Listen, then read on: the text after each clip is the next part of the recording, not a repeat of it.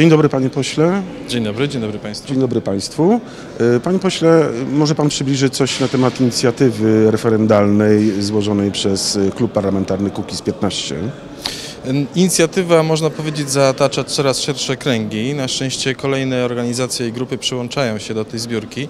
Przypomnę tylko w skrócie, że chodzi o Zbiórki czego? zbiórki podpisów y, pod wnioskiem o ogłoszenie referendum ogólnokrajowego e, w sprawie y, mechanizmu relokacji uchodźców zaproponowanego, narzuconego Polsce przez Unię Europejską.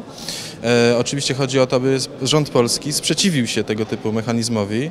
Dzięki temu, dzięki takiemu referendum, oczywiście jeśli będzie, będzie przegłosowany, e, przegłosowany wniosek o, o to, aby takiego mechanizmu nie było w Polsce, nie był narzucany, e, polski rząd zyska dodatkowe narzędzie, dodatkową, dodatkową, dodatkowy argument w negocjacjach z innymi państwami Unii Europejskiej, aby odrzucić te mechanizmy. Podpisy są właśnie zbierane. Ostatnio Kongres Nowej Prawicy, Zarząd Kongresu Nowej Prawicy przyjął uchwałę, która po pierwsze popiera tę inicjatywę, po drugie wzywa członków i sympatyków do tego, aby włączyli się w proces zbiórki podpisów pod tymże referendum, więc sprawa nabiera rozpędu. Z tego miejsca wobec tego bardzo bym chciał prosić wszystkich członków oraz sympatyków Kongresu Nowej Prawicy, aby przyłączyli się do tej inicjatywy i wzięli czynny udział w zbiórce podpisów pod tymże referendum.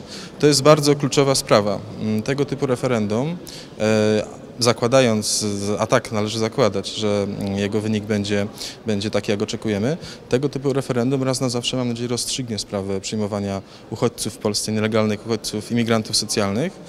Jeśli dojdzie, bo Jeśli na razie dojdzie. z referendami w Polsce to tak było dosyć Oczywiście. niezbyt okazjonalnie, znaczy okazowo. Tak jest, ale mamy nadzieję, że dojdzie, ponieważ e, można łatwo wyczuć, że, że raczej intencje społeczeństwa, raczej nastroje społeczeństwa są przeciwko tego typu, tego typu przymusom, e, więc jest to naprawdę inicjatywa warta poparcia.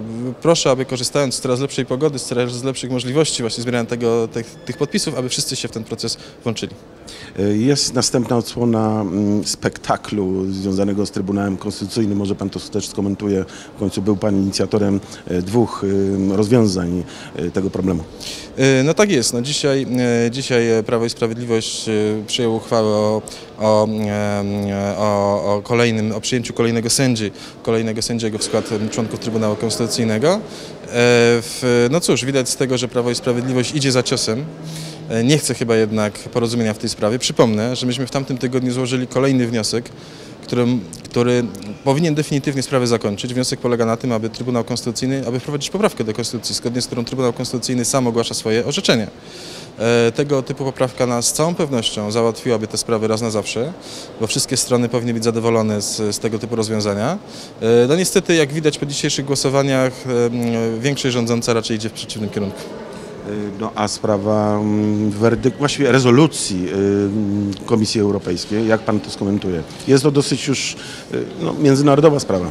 No cóż, no niepotrzebnie, oczywiście stoimy na stanowisku, że sprawy zupełnie niepotrzebnie umiędzynarodowiono. Wynoszenie tego na wyższy, na, na pułap międzynarodowy niczego nie przyniesie, poza tym, że podgrzeje atmosferę tylko w Polsce e, tego, tego problemu.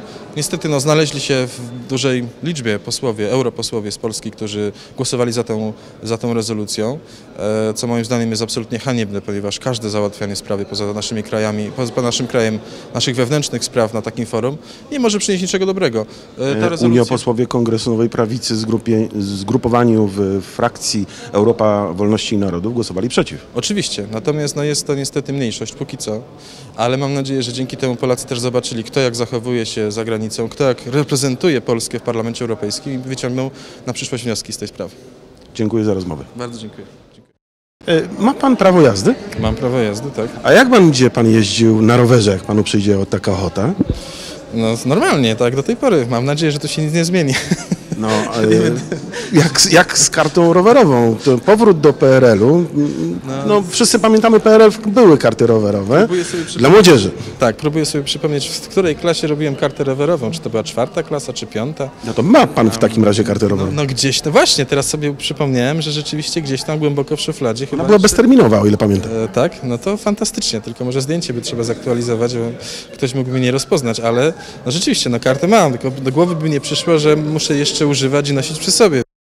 My na pewno, jako klub Kukiz 15, a zwłaszcza ci posłowie w ramach tego klubu, którzy, którzy są posłami wolnościowymi, będziemy zawsze sprzeciwiać się temu, aby pod różnymi pretekstami e, nasze wolności ograniczać, E, bo prawda jest taka, że nie, ma, nie da się stworzyć systemu, który nas w 100% zabezpieczy przed terroryzmem, przed wypadkami, przed niebezpieczeństwami. Takie rzeczy się zdarzały, będą zdarzać i, i, i na to nic nie poradzimy. Natomiast to nie może być absolutnie pretekst do tego, żeby państwo stawało się coraz bardziej totalitarne.